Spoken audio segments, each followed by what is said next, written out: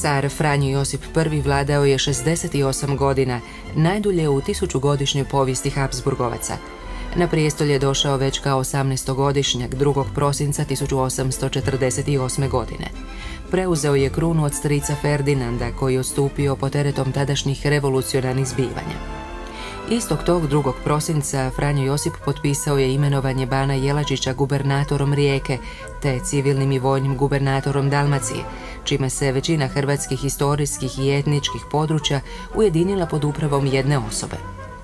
Ban Jelačić opravdao je povjerenje dvora i bio jedan od ključnih saveznika protiv Mađara. Zadnji teški udarac došao je 1914.